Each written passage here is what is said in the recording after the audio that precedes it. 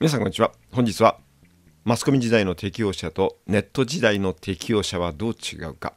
書籍あの頃早稲田でとコラムニストになりたかった。というテーマでお話をしてみたいと思っております。今回は2冊の書籍をご紹介したいと思っております。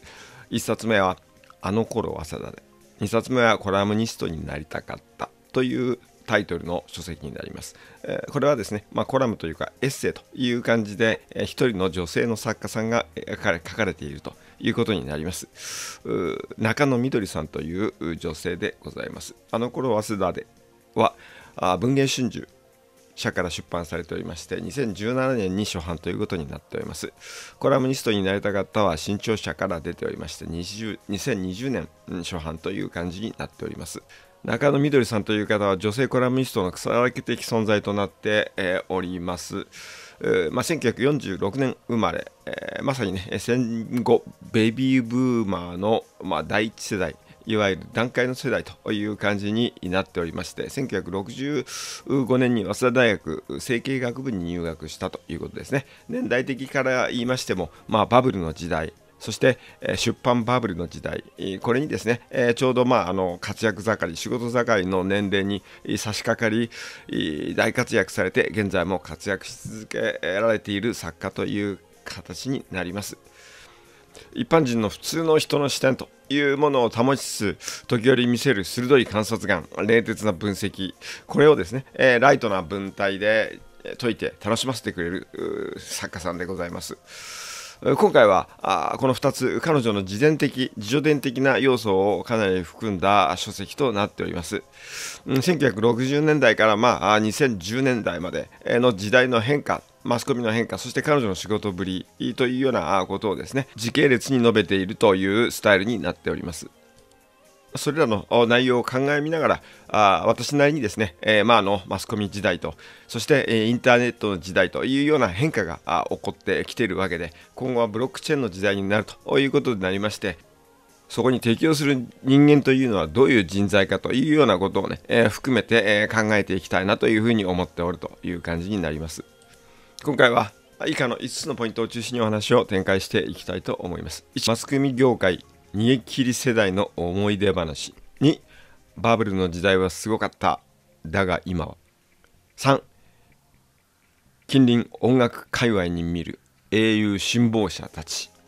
4マスコミ時代の適応者とネット時代の適応者。4ブロックチェーン時代のクリエイター。という感じになります。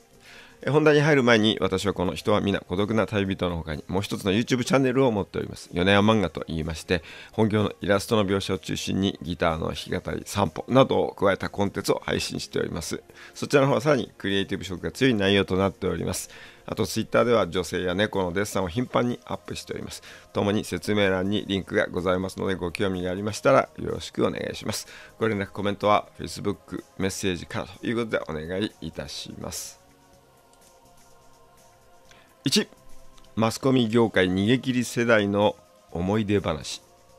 えー、まあ2つ取り上げた中のあの頃早稲田でという方の書籍ということになりますがあこれはまあ早稲田ということで、えー、お分かりになると思いますがあ中野みどりさんが大学の頃に経験した話ということになりますね。えー、まあ高校時代から中野みどりさんは共産党宣言というものですね、エンゲルスの書籍となりますがあこの辺を読みかじりまして、まあ、当時は流行っていたね、まあ、左翼的思想左翼系、えー、という感じでですね、え大学を入学した後社会問題研究会俗に言う社研というものに入ったということなんですね。えー、しかし入ってみたものはもののやっぱりいまいちね、えー、学生運動とかに夢中になれずのめりことのめり込むこともできずにまあいろいろといろんなものを見聞きして経験して、えー、まあ一生懸命生きていたというような話になっていきます。あまあキャンバスにはですね、えー、そうそうたる面々がおりました。後にね宝島という出版社の社長になります蓮見誠一さんという方タレントで有名なタモリそして女優の吉永小百合著作家の著述家の宮崎学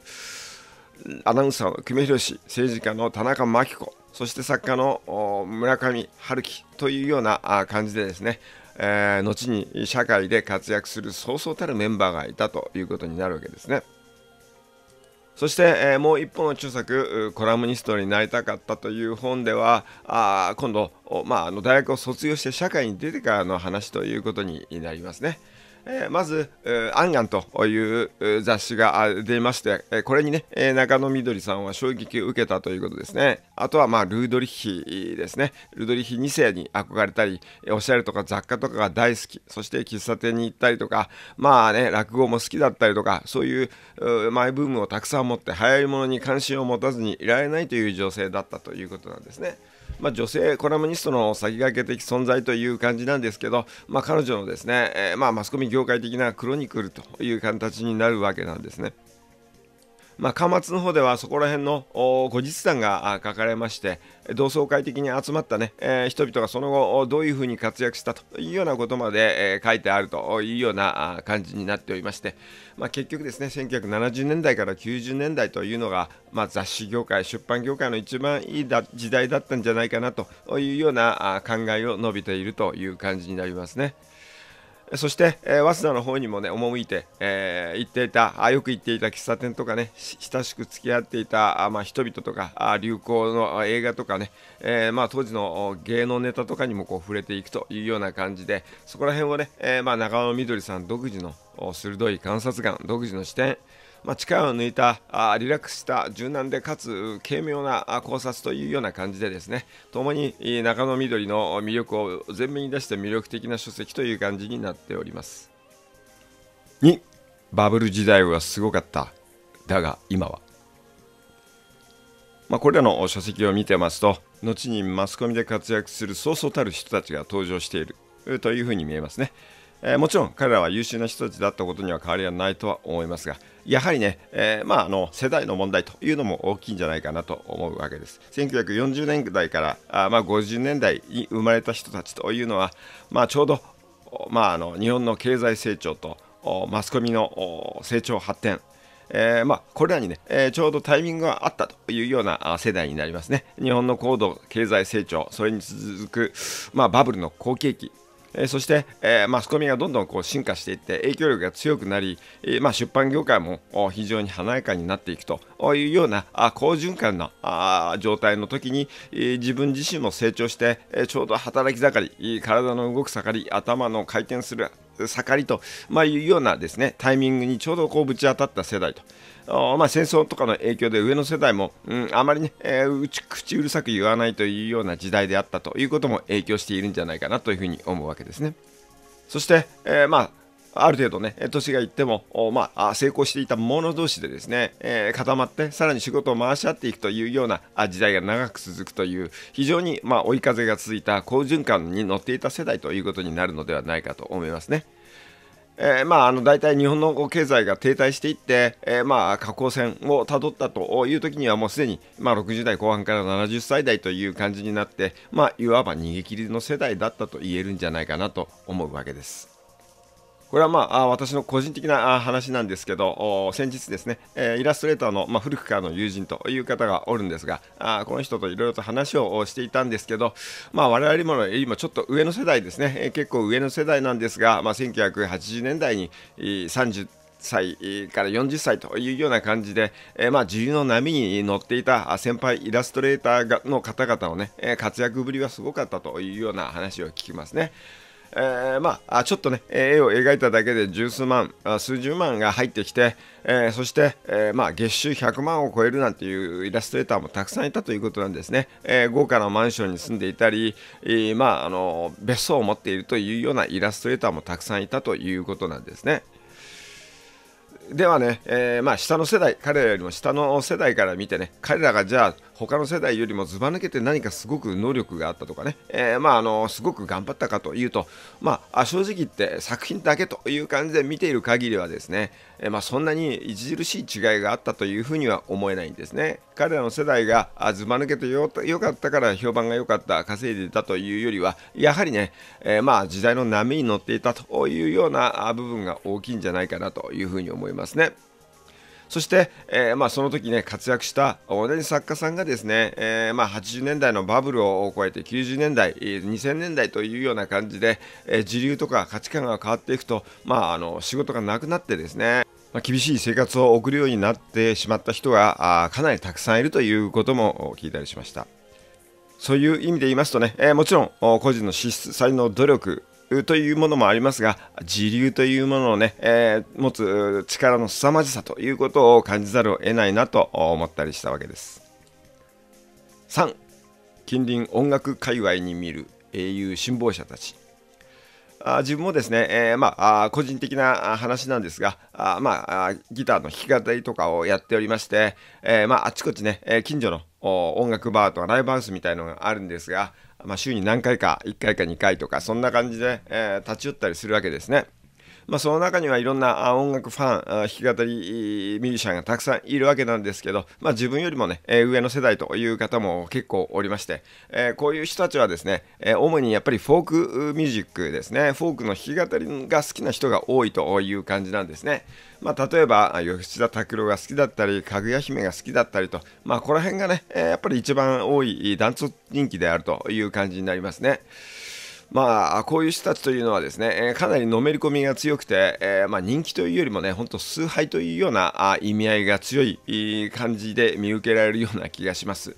洋楽ということで言いますと、やっぱりね、え、ビートルズとかエリック・クラプトンとか、ああいうような感じで、ここら辺の二大巨頭、まあ、ここら辺の人たちをですね、辛抱しているというようなあ感じに見受けられると。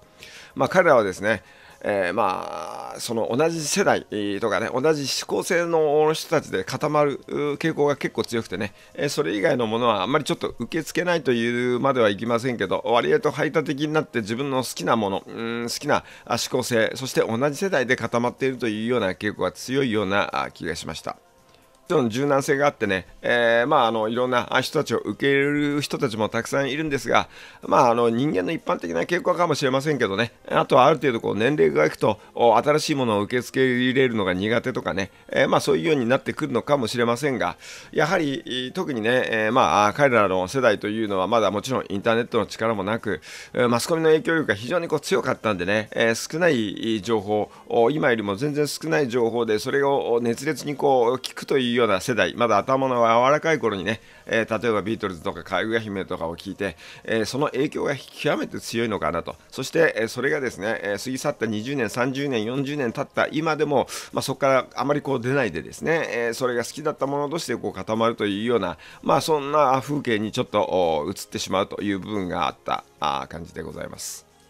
そしてその崇拝したものですね、まあ、一生懸命ですね、えー、まあなぞってですね、えー、完璧にコピーできるかどうか、それをうまく歌えるかどうかと。いうことに結構注力して、一生懸命本当になぞっていると、まあ、いうようなケースが多い。シュハリじゃないですけどね、えー、一時的にそういうものを一生懸命取り入れて、えー、それ以降はあ自分なりのスタイルを作って師匠から離れていくと。オリジナルを作っていくというようなケースではなくね、え、ずっと、まあ、あのそのお手本に沿ったものをずっとやり続けて、え、まあ、その仲間同士で、え、一緒にね、え固まってこう常に行動していると、まあ、いうようなケースをしばしば見受けるという感じになっておりました。ま、私とかは、まあ、あのクリエイターの端くれなんでね、えー、やはりどんなにね、え例えば、まあ、ビートルズにしても吉田拓郎にしても素晴らしいとしても、まあ、それをですね全くコピーするというのはあちょっと気が引けるというかあやはり自分なりのものを作ってですねそういうものをアピールしていかなければというふうに思ってしまうんですが、まあ、それはまあ人それぞれということでね、えー、ありえと思った以上にそういう人たちの割合が多いんじゃないかなというふうなことを改めて気づいたという次第でございます。4マスコミ時代の適応者とネット時代の適応者インターネットの時代になりまして、えー、またね、えー、随分と様相が変わってきたということになります。マスコミ時代とは全くこう変わってきたという感じになりますね。えー、まあ、インターネットの時代ももちろんね、そういうカリスマというものが登場しまして、えそれに浸水する人たちという現象はあるとは思いますが、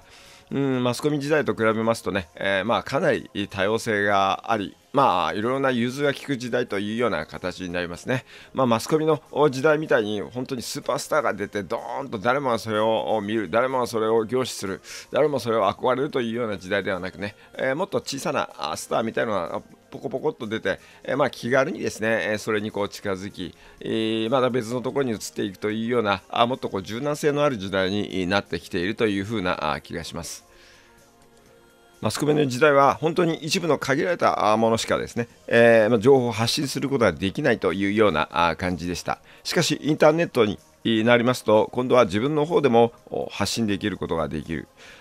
一方的に情報を受け取るだけではなく自分の方から能動的にですね情報を発信できるような時代になってくる。そして、えー、今度はブロックチェーンの時代になってきますと、それでですね、えー、まあ、さらに今度はあのお金とかね、金銭とか収入とか、そういうことのやり取りもできるようになってくるというような感じになってきますね。そうしますと当然マスコミ時代に提供していた人間とネット時代に提供する人間というものの違いが出てくるという感じになりますね。え今後の未来のことという形で考えますと先ほど言ったようなあ形のお手本がありそれをうまくコピーができるとそれでどうだというようなあ人間とそういう人たちというものはなかなかきつい時代になってくるんじゃないかなというようなあ気がしますね。なぜならばまあ、あのコピーということがうまくできるとお手本があればそれをうまくなぞることができるという人間にはですね、えやっぱりあまり価値が出ないというような時代になってきますね。要するに代替がいくらでも効くお師匠の真似をできる人間というのはいくらでも世の中にいるわけなんでね、えー、やはりそこの中で、えー、求められるのはオリジナリティがあるか自分しかできないものがあるか特徴があるかどうかということになってくるとだからという感じになります。それでもまあ趣味の世界だったらあまあ同じお師匠さんを囲んでみたいなあなんていうかな、あの弟子た弟子とかね、えー、そういうもの同士でつるんで、え、楽しくワイワイやるというようなあ感じでもいいかもしれませんが、それがですね、また仕事とか、あそういう形になってくると、いかにですね、人ができないことはできるか、一人、えー、できること、同じことでも、いかに、えずば抜けてうまいことができるか、なんかこう、付加価値をつけて面白いことができるかどうかと、まあ、いうようなあ要素が必要ということになってくると、やはりちょっとなかなかこうきついという感じになってくるのではないかと思います。そして、え、人間というのはねやはり10人十色ということになりまして同じことをやっても同じにはできないところがありますね。自分自身のまあ、あのリズムとかね、え、自分自身の考え方自分自身の癖自分自身の身体性というようなあそういうそれぞれの資質があってやはりそれを生かした方がいいという形になる。そうするとどうしてもね、えオリジナルを作った方がいいというようなあことになってくるわけですね。むしろそういうものにこだわってですねそれをしつこくどこまどこまでもどんどんこう追求していってそういう独自性を磨き上げていった方がむしろ良くないか。今後のですね、まあ、つながりとかあそういうものがある時代には貴重な存在になり得るんじゃないかなというふうに思うわけです。5ブロックチェーン時代のクリエイター。そして、まあ、そのためにはどうしてもねえー、まあ、マスコミの情報に、ここ心から浸って右へ習えというような同調圧力によってみんなと同じことしかできない人間ではなくねやはりインターネットの時代ならではのまあ、古今東西多くの情報をまずは得てそこからあ咀嚼吸収してですねオリジナリティを築き上げることができるものという方が、まあ、社会の動きの中心となっていくという感じになると思います。今後はですねインターネットの世界もさらに加速するしインターネットの世界よりもブロックチェーンの進化の方が5倍早いというふうに言われているとそういう時代に突入していくわけですね、えですから、まあ、インターネットで発信した情報とかも今度は自分の収入になったりそこの発言とかやり取りとかね、えそこの協力に試合というようなものからあまあ地域通貨みたいなものが生まれそれでね生活していくことができるというような可能性に、え突入していくわけですね。そういういう時代になっていくというような形になりますとどうしてもね代替が効くものよりは自分しかできないもの自分なりのものというものを作ってそれを旗印としてですね、え周りにいろんな人を集めたり協力者を得たり協力したりというようなあ形になってくると思うわけです。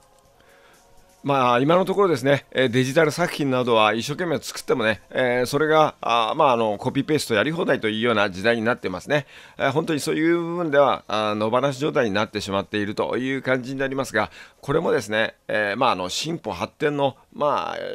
一過程とそれに過ぎないという感じになりましてデジタルコンテンツクリエイターというのはまあ本当に今浮き目には合っているけど今後はですねブロックチェーン化することによってどんどん変わってくる。著作権とか金融とかあそういう世界にもですねブロックチェーンの影響が大きく現れ、まあ、クリエイターのですね著作権とかアイデアとかあそういうものが守られるようになりマネタイズもしやすくなってくるというような形になりますね。そしてさらに、まあ、アルゴリズムとかそういうものも進化してですね、まあ、コミュニティもより作りやすい。よりですね自分の価値観とか興味とか関心とかそういうものがですねあった者同士が付き合えるような出会えるような集まれるような時代にどんどんなってくるというふうに思うわけですね。そうしますといいものを作っているのに理解できないと理解されしてもらえないというようなあ感じの中でこうもだえ苦しむということもより少なくなってですね本当に、まあ、あの自分の価値が合う人と地域通貨共通通貨というものを交換し合ってそこでですね生きていくというような時代夢のような時代ですけどね、えー、そういうような時代に突入していくわけです。まあ、そうするとクリエイティビティの高い人たちが今よりもさらにね、えー、社会の中心という形で活躍できやすいというような時代になってくるんじゃないかなと思いますね。まあ、そのための準備ということで言えば本当に自分がやりたいこと本当にね、え心から思うことそして自分の身体性特徴癖、え傾向これらにね、え従ったものをなるべくやっていくようにするというようなことは本当に大切なんじゃないかなというふうに思ったという感じになりました。ということで、今回はマスコミ時代の適用者とネット時代の適用者はどう違うか、書籍、あの頃早稲田でとコラミニストになりたかったというテーマでお話をさせていただきました。長い時間お付き合いいただきましてありがとうございました。失礼します。